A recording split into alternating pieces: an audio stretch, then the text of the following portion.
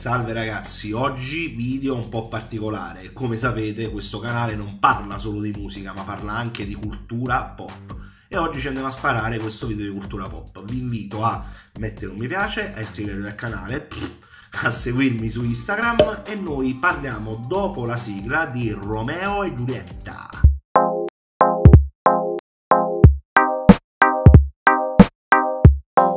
È un po' che non divago rispetto alla musica, quindi oggi parliamo di un classico della letteratura che entra a pieno titolo nella cultura pop. In che senso cultura pop?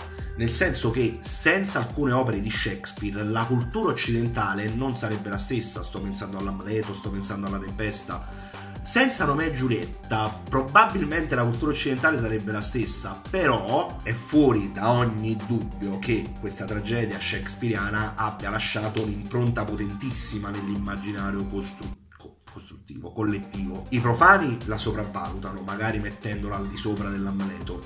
Chi approfondisce un poco di più la sottovaluta, magari paragonandola ad un romanzo rosa di consumo, e raga, veramente difficile incasellare questa opera nel suo giusto contesto culturale. Storia d'amore per antonomasia, storia d'amore ostacolato per antonomasia. Mm, raga, non è tanto una novità nella cultura occidentale la storia d'amore ostacolata. Tutta la lirica occitana, e stiamo nel basso medioevo, è basata sull'idea di amore ostacolato. No, c'è dell'altro, ragazzi. Il punto saliente di questa commedia, secondo me, sta nel contrasto tra modernità e concezione medievale. Mi spiego meglio. La scena più famosa della tragedia, il balcone di Giulietta.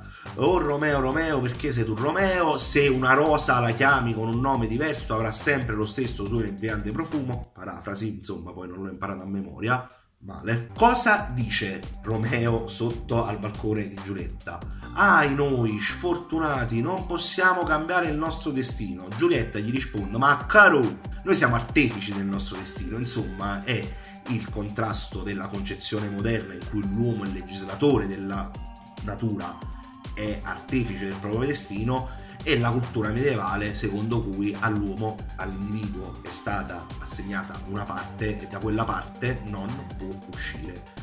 Ci torniamo nel terzo punto che secondo me è il più importante. Il secondo punto è Tibaldo. Raga, i cattivi di Shakespeare meritano di essere trattati a parte perché sono veramente curatissimi. Però, escludendo casi particolari come Shylock, come Lady Macbeth, che sono dei cattivi eccellenti, e come appunto Tibaldo, gli altri si possono insomma riassumere nell'idea di cattivo machiavellico cattivo, cattivo machiavellico. Iago nell'Otello, Cesare in Antonio e Cleopatra sono personaggi che hanno la caratteristica in comune di essere machiavellici, lusingatori, adulatori, mm, ruffiani per così dire, insomma manipolatori, arroganti col più debole e zerbini coi potenti. Tibaldo no. Tibaldo odia per l'odio, non è un attaccabrighe e non è un manipolatore. Tibaldo odia per odio il personaggio che secondo me si avvicina più a Tibaldo nella produzione shakespeariana, secondo me è Laerte, perché anche Laerte è cieco.